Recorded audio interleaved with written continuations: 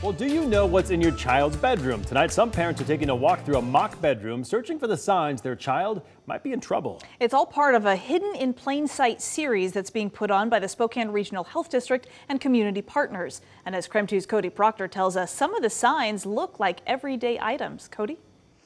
Well, tonight's Hidden in Plain Sight exhibit at Freeman High School is the first of several that will be taking place over the next week throughout Spokane County.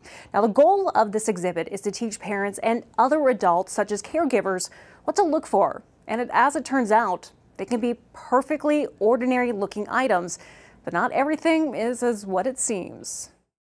This bedroom looks like it could belong to just about any teen, but it's no ordinary bedroom It's the Hidden in Plain Sight exhibit. Kids aren't just hiding things in their mattress anymore. In it, there are more than 100 items, all of which could be signs of problems or risky behaviors such as teen substance use, human trafficking, mental health concerns, or unhealthy relationships. I love when parents can go in and see what they know versus what they need to learn more about. So, you know, to kind to test what's changed over time.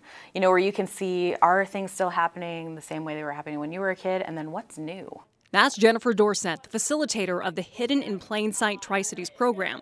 She's traveled all over Washington state for the program, and this isn't her first trip to Spokane and Spokane County. She says one of the biggest concerns right now with kids and teens is vaping. Vaping's not what it used to be even six years ago.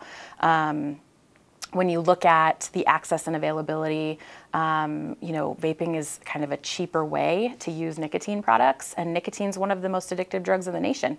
According to the most recent Washington State Healthy Youth Survey, in 2021, about 10% of surveyed 10th graders in Spokane County reported using vapor products in the last 30 days. That's down from the 27% of 10th graders surveyed back in 2018. Ultimately, Dorsett hopes what parents and caregivers get out of this event is confidence in talking to their kids. Knowledge is power. And so um, it's just a great opportunity to come and learn. And again, tonight's exhibit at Freeman High School is only one of several that will be taking place throughout Spokane County. There's also one at University High School and at Westwood Middle School. And people who do want to check out this event have to be at least 21 years old. There will also be resource tables available.